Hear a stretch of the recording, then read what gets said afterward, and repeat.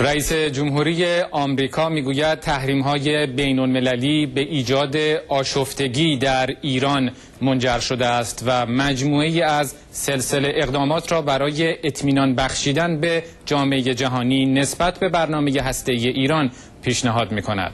پرزیدنت اوباما در گفتگویی با روزنامه‌نگاران در کاخ سفید گفت هزینه های ناشی از تحریم ها سنگین تر از آن است که ایران تصور می کرد اما تصریح کرد روشن نیست این فشارها به توقف رویکرد ایدئولوژیک یا ملیگرایانه در پیگیری برنامه هسته‌ای بیانجامد.